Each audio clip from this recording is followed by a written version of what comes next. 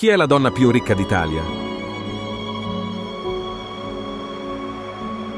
La donna più ricca d'Italia è Massimiliana, Landini Aleotti, con un patrimonio di 6,9 miliardi di euro.